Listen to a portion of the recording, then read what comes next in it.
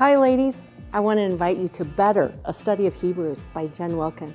In 10 weeks together, we'll walk through the 13 chapters of Hebrews to learn how it is that the Old Testament ceremonial law connects to the New Testament story.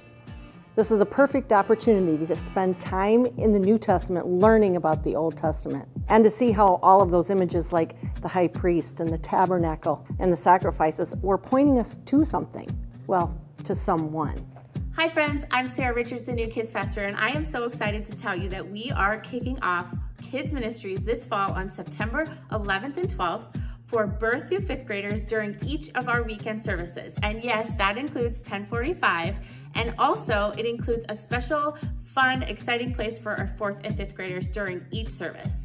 But I don't need to keep talking. I would love for you to hear from some of our kids. Let's see what they have to say about coming here to church on the weekends and about their leaders. That I get to sing to Jesus. I like playing dodgeball. I like singing. What do you like about the leaders? Um, they play with me. They do a lot of stuff. They take me to the gym. They tell me about like um, Bible verses.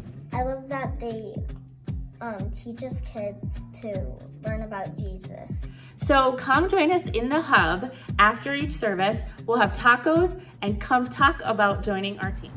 Hello seniors 55 and above would like to invite you to hear the Plymouth Rockers sing to us the Golden Oldies and the Gospels on September 15th at 1 p.m. in the refinery, followed by fun activities and snacks in the Turtle Lake Cafe. Sign online and come and enjoy and rock together. Sunday, September 12th, between 5 and 7 o'clock, we're going to have the Taste of PCC. It's an incredible opportunity for your entire family to come and have fun. We're going to have all kinds of food, and it is free. Delight your taste buds with the culinary creations of people from our church who love to share their gifts.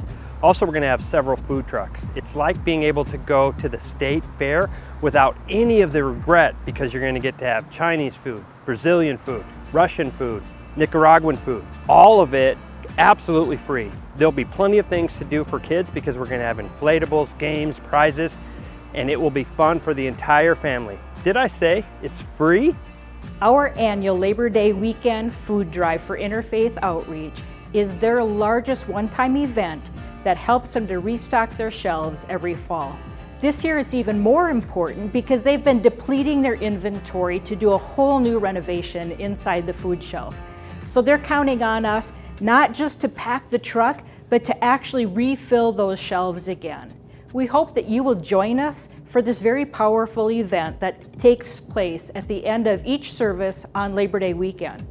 Out of town? No worries, we've got you covered.